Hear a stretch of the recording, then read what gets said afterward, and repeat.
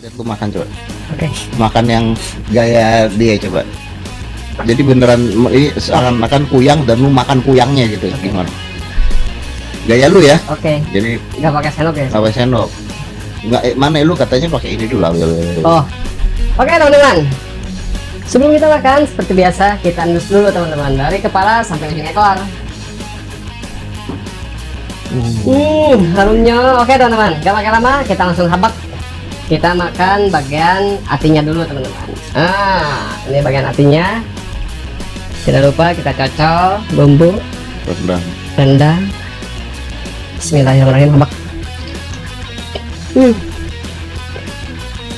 oh ngunyahnya aja begitu sih pelem, apa pelem.